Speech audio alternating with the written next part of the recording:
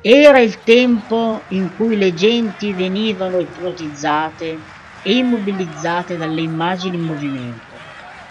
Le si potevano trovare ovunque, disposte qua e là, sistemate a mezz'aria nei bar, nei ristoranti e disposte nei salotti delle case. Erano onnipresenti. Le immagini che più di tutte rubavano l'attenzione erano strane, dissennate vicende che si svolgevano su grandi prati verdi.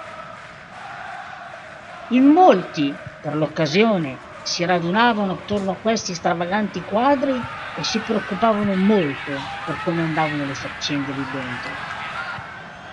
Poi tutto finiva e ognuno se ne tornava per i fatti propri e ogni volta, stranamente, alcuni erano molto molto contenti ed altri molto molto abbacchiati.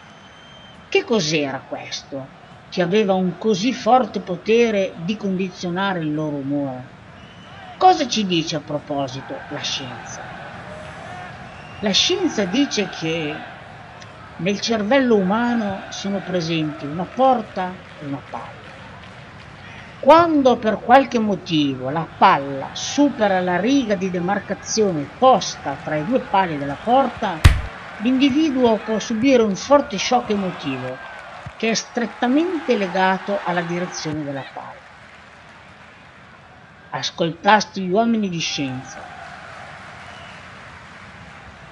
Ma quando ti avventurasti nella profondità dell'animo umano, trovasti solo complessità e una solitudine infinita.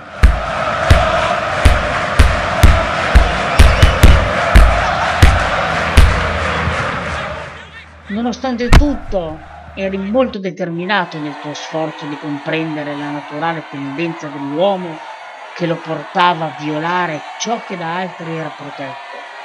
E ti trovasti tra le mani la chiave di tale assurda pretesa. Ma c'era poi davvero qualcosa da capire?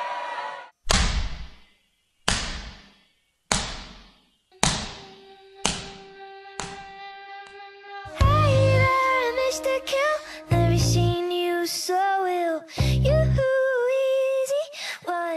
there,